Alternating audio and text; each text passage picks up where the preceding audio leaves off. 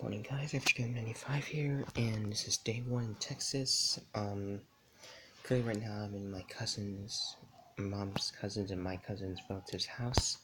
One of them probably in Texas.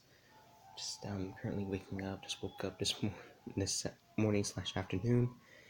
I had a good sleep last night in this bed right here, it's pretty nice. So, yeah, they're A for today, and yeah. And, um, conditions here pretty, pretty, pretty nice so far, except mosquito part. But yeah, I'm trying to see if I survive the mosquito bites for the next three weeks. So starting today.